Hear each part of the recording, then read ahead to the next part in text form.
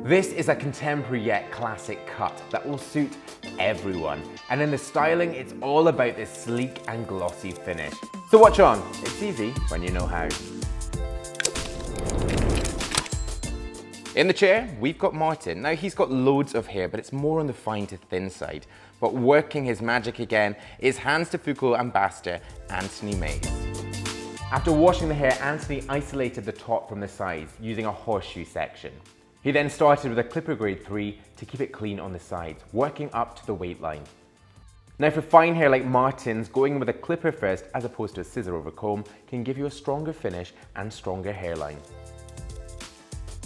After clippering, he then scissor over comb the weight line down just over the curvature of the head.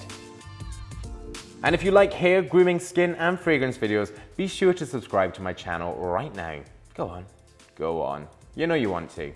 He used a pivoting, diagonal, forward motion to really work with the crown. You'll see that using this method prevents fine hair, like Martin's, from kicking up. Elevating back to the crown, Anthony keeps more length at the front. What kind of hair do you have? Is it fine? Or maybe it's thicker? Let us know in the comments below. Now into styling, Anthony really wanted to have this structured style with a sleek finish, whilst also making sure we could work with a parting. He blow dried Martin's hair with a flat brush to keep control of the hair, before moving on to a round brush to smooth the hair, whilst making sure the parting was as sharp as possible.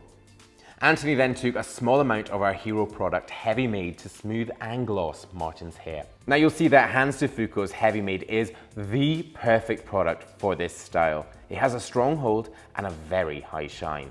Now using a small amount on fine hair really does provide a supple satin finish. Now Heavymade is naturally quite a dense product, but as you can see, it definitely works on Martin's fine hair. But if you have thicker hair or maybe you want a higher shine, just use more product, but make sure you layer it. Now for me, I absolutely love this style and it's one that I'll certainly be trying. But what about you? Do you like it? Hit the like button if you do. So there you go, a modern yet classic professional look.